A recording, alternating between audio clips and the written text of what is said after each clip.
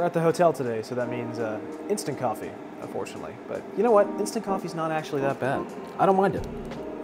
It's fine. In a pinch, it's fine. When you just need coffee and you need it to be instant,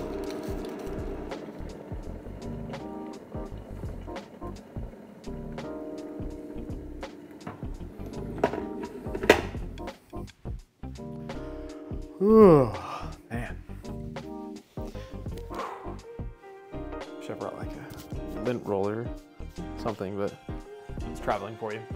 If you've been following me here on YouTube or anywhere else on social media, you know that I travel a lot for work. And when you travel a lot, you start to develop strategies and routines and everything to make your travel easier. I even recently made a video about my essential travel items. But another thing that comes with traveling is I end up doing my video editing and content creation in you know remote areas, in media centers, and in hotel rooms like this one here, or at coffee shops. And I'm never in a proper office with a proper office chair and proper ergonomics, which ended up taking a big strain on me. But recently I started using what I believe is the perfect portable video editing setup that you can take with you in a backpack in a small bag pretty much anywhere.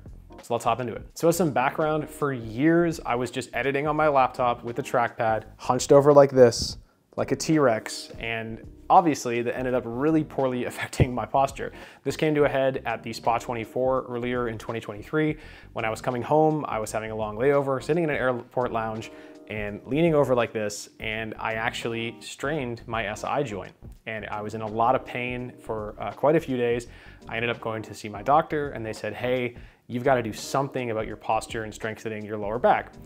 So I did what most people would do. I took that really seriously for like two weeks until my pain went away. And then I just stopped doing my exercises and stopped caring. But then later on, I saw a photo of myself that someone took in the media center in Japan. And I was again hunched over like a T-Rex. And I said, okay, something needs to change. So I started looking at different solutions to this posture problem. And I noticed that a lot of people in the media center use laptop risers. And I thought, hmm, it's interesting, maybe I should try that. And yeah, it's super obvious, Mark, you should just get a laptop riser and lift your laptop up. So I went and did that. I spent the most important $20 of my life and bought this very simple collapsible laptop riser that's portable, you can take it anywhere, it's got little rubber on the bottom so the laptop won't move, and it's adjustable to many different heights for however high up you like to sit. I just got it on Amazon, it was super cheap, and it just allows me to lift my MacBook up. Now, I'll take an aside to say, oh, the question I get asked on social media a lot is like, why do you edit on a laptop? Why don't you just have an editing PC? Well, it's pretty obvious. It's because I travel a lot, so I can't really take an editing PC with me on the road. So I just use this M1 MacBook Pro, which of course I ordered and custom built right before they announced the M2s.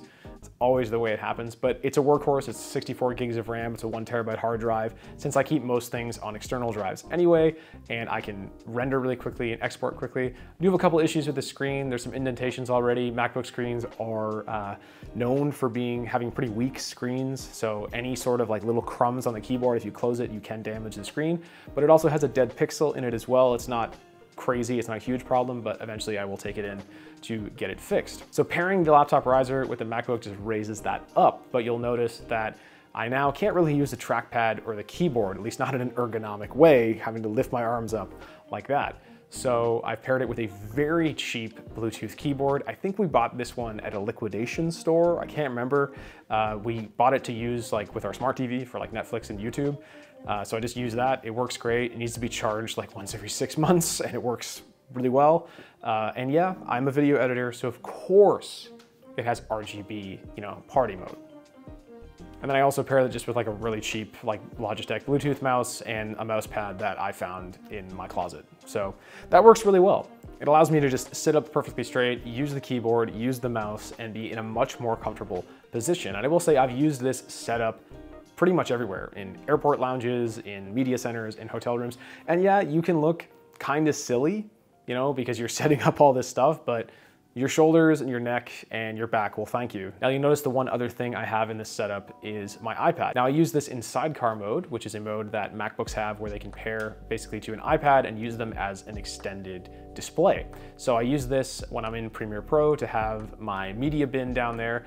Now here you'll see it's just sitting on the table, so maybe not as ergonomic to have to look down at it, but sometimes if I just have like, you know, a GoPro box or something around, I'll raise that iPad up I will say uh, it does disconnect every now and then. It's not a perfect thing, the sidecar, at least not with this laptop. So now and then it'll freeze, you have to disconnect it and reconnect it. Uh, you can connect it uh, via Bluetooth or Wi-Fi. I don't really know how that works. It all seems like magic to me, but I usually just connect it with a USB-C to lightning cable, which you'll see in the setup here, and then it's keeping the iPad charged all the time as well.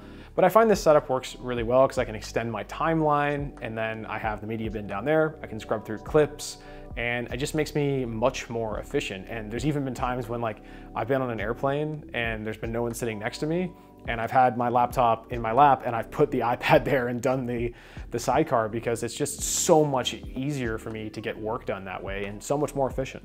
It's taken some getting used to because for years I edited just with the trackpad, which a lot of people told me was absolutely insane and what are you doing? But I spent a lot of time sitting on the train, riding into downtown Toronto or on airplanes, and I even developed like a two thumb like editing system for when I was in Premiere Pro. And now I've had to take some adjustment to go to a mouse, but now I don't really think I can ever go back. This has been so much better for me, better for my posture, better for my shoulders. And again, it's just so much more efficient having the sidecar and everything and able to just get all of my work done in a very comfortable position. So if you're wondering uh, how much everything costs, uh, the laptop riser, like I said, there's different ones on the market. Uh, on Amazon, you can take a look. They're between you know 15 and $30. I think this one was 20. Uh, the Bluetooth mouse, I think I paid 12 or $13 for it. Uh, the mouse pad, like I said, I found it in my closet, but a mouse pad like that runs $4 at Staples. Uh, and the Bluetooth keyboard, I think it paid $10 for at a liquidation store. The iPad is obviously the most expensive thing. Uh, this one is, I think, a ninth gen, and it ran about 350 to $400. Uh, I'm saying the dollar amounts in Canadian dollars because I'm from Canada, so uh, you can convert that to whatever your local currency is. But you don't have to buy an iPad. You can buy uh, other small displays. I've seen video editors that even have one that they can mount vertical sometimes to do their preview on if they're doing a lot of vertical video. And I've seen people even have a setup where there's two screens and it attaches to your laptop and you have basically like, you look like you're on the Death Star, like you're on mission control. Uh, and yeah, people will give you weird looks in the media center.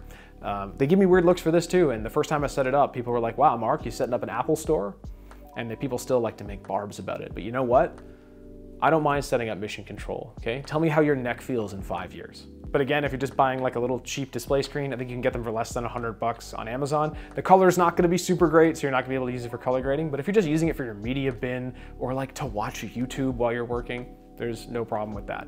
But the iPad is a good shout for me for traveling because I also just like use it as a TV, watch YouTube on the plane. So it's perfect to act as a secondary screen. And then when I get back to the hotel, I can just use it to watch Netflix or whatever. So works perfectly for me. So that's a quick look at the portable editing setup that I take on the road with me. Nothing fancy, nothing crazy, but it works perfectly. And I honestly, again, the 20 bucks I spent on that laptop riser changed my life. Something so simple, but so effective.